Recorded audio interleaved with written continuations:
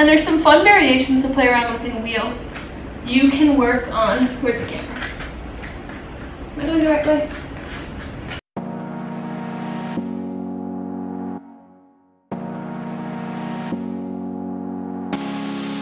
Hey you beautiful people, my name is Brittany and today I'm going to be sharing with you all my flexibility routine. I get a lot of questions about stretching, how frequently I stretch, how I'm so flexible. Um, thank you. I, I feel like I do have certain areas that I've worked a lot on flexibility and definitely areas that I'm still cultivating flexibility. All these areas I actually feel like I'm really still cultivating flexibility and that's why it's a practice and I'm really excited to share my practice with all of you. One question I get a lot is have I always been flexible? Um, how long have I practiced this sort of stretching for? And the answer is no, I really did not used to consider myself flexible. I still feel like, I mean, I know a lot of contortionists and I feel like I still have so far to go before I consider myself particularly flexible, but I do appreciate the level of flexibility I have. And as for practicing this sort of stretching, I'd say about 10 years ago I started practicing yoga and that's when I really started to get into more stretching. And then it probably in the last like three to five years, I've created my own sort of practice. And there's a few areas where I notice I keep coming back to stretching. And those are the areas I want to share with you. They're probably, I think, five of my favorite areas to stretch. So I'll be going over middle splits, front splits, hamstrings in general, back bends, and hips. I feel like having balanced flexibility along with your other fitness practices is so important. For me, I've noticed huge benefits, especially as I've been doing more strength training. And before I did that, I felt like I had a good amount of flexibility, but I didn't have the strength. And there's other facets of fitness to be considering as well, but these are definitely two that I think are really important. So I'm excited to be diving into flexibility with you all today. This is by no means a completely well-rounded stretching routine or anything like that. These are just some exercises that I've been enjoying doing recently. I love doing them before I practice acrobatics or at the end when I'm cooling down. I also really love just sitting in them when I'm journaling or eating or working on my computer. So it's kind of a fun thing that you can incorporate at different times. Another cool thing about stretching is that it's really minimalist fitness at its best. All you need is a comfortable surface to stretch on. Okay, let's get started.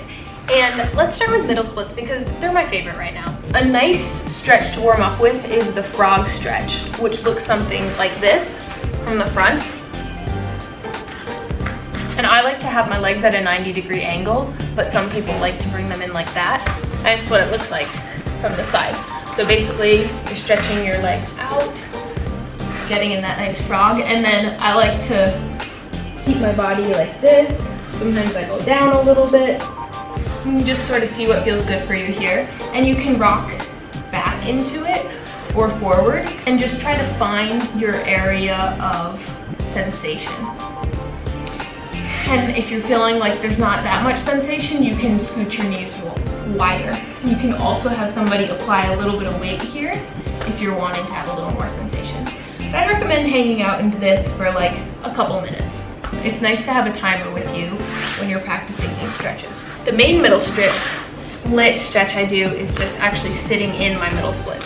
So there's two types that I like to practice, and one is this like straddly middle split where you're sitting upright and just trying to get my legs you know as wide as possible and my toes are pointed up sometimes what I like to do is put blocks underneath my feet or get on two chairs so that I can basically take the um, earth out from below me and let gravity help me out and so that way I can get a deeper stretch.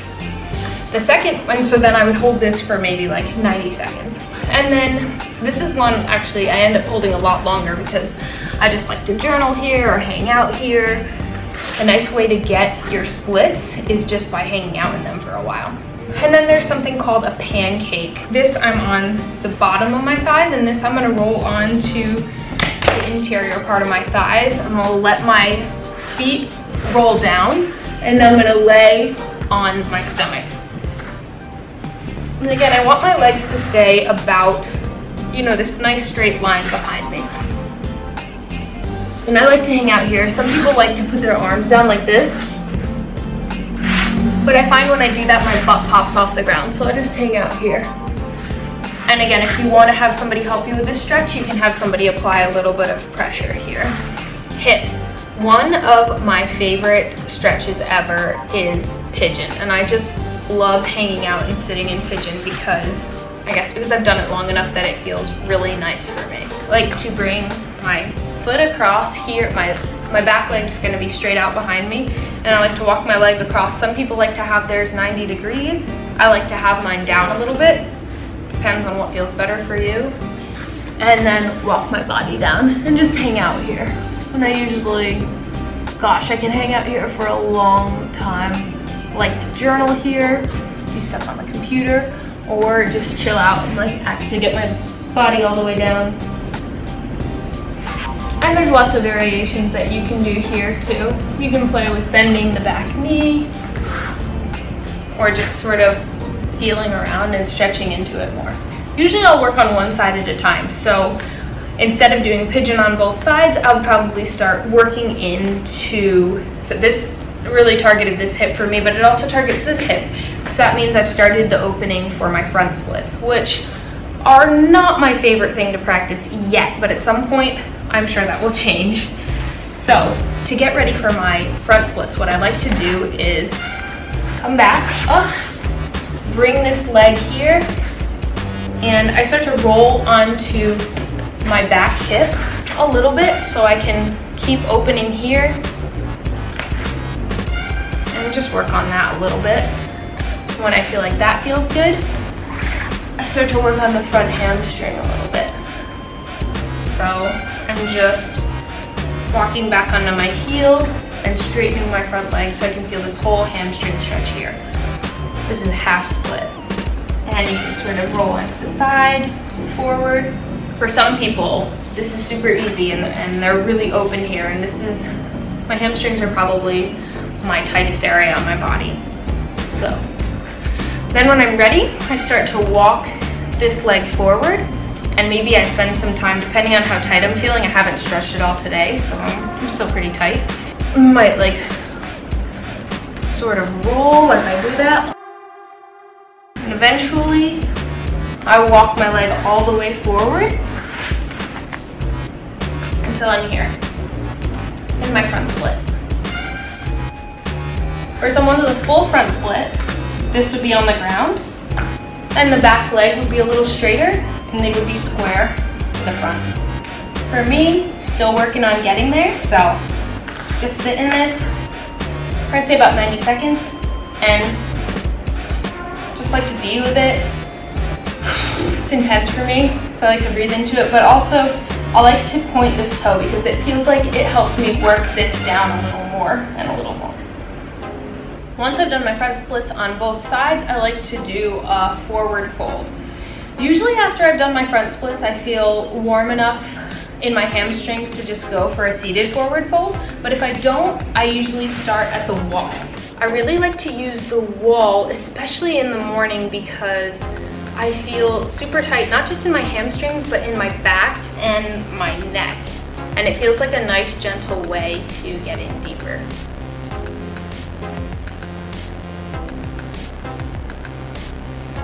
And so if I had that wall behind me, be able to like add some gentle pressure here. And then I can walk my feet closer and closer to the wall. I like to have my feet about hips width distance when I do this.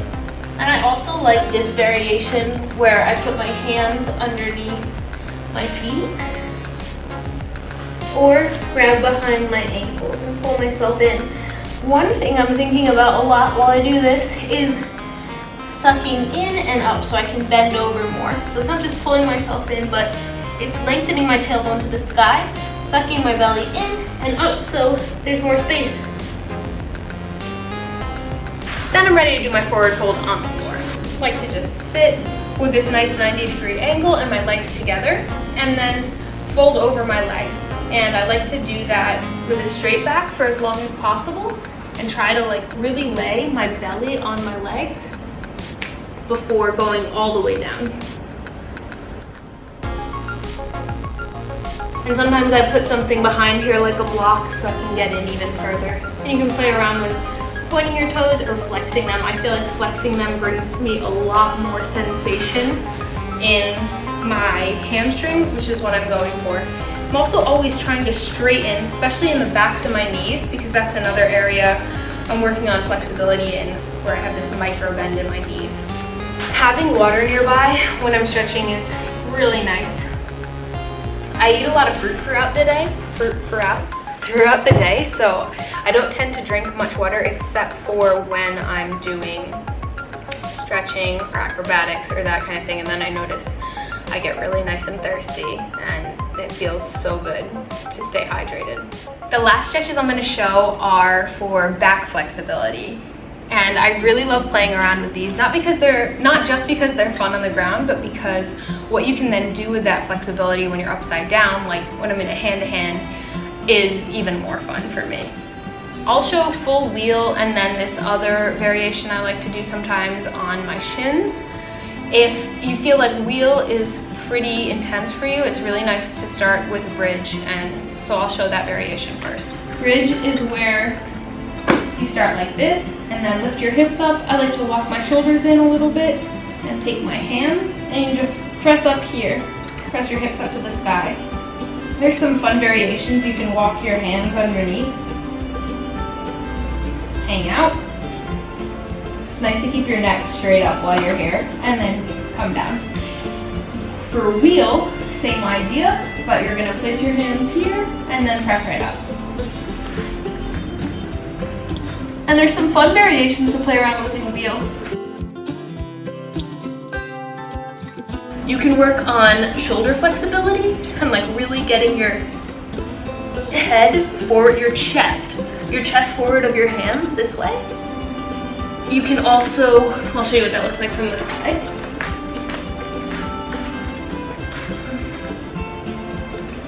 You can straighten your legs and bring them together Feel that in my low back. You can also work on getting your limbs, your hands and your feet even closer together.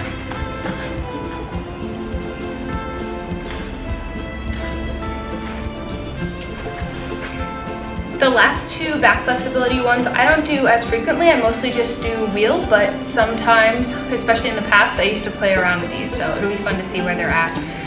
One of them starts in camel, so that's from shins, and then I like to bring my upper half down as close as I can to the ground and try to make a, an even smaller wheel. And then the last one I'll show because a lot of people ask me about my scorpion hand-to-hand -hand, and that was something that I started practicing against the wall before I ever had it in a hand-to-hand -hand, so that it felt like I could develop the flexibility before I developed that balance and awareness.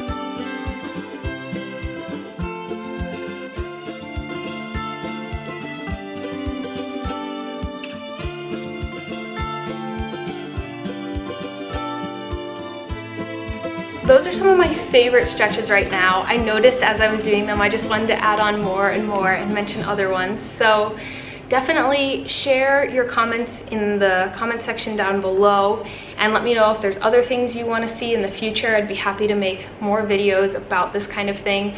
I realized physical fitness is super important to me and I love movement and it's not something I've shared much of on this channel. And so I feel excited to open up that new territory if it's something that you all are looking for. If you want to follow my progress and Conor's progress in our three months of this hardcore handstand training, you can check out my Instagram. I'll keep posting pictures there and I do a lot of posts about it on my Insta story. Hope you're all having a beautiful day and I'll talk to you again soon. Mwah. Bye.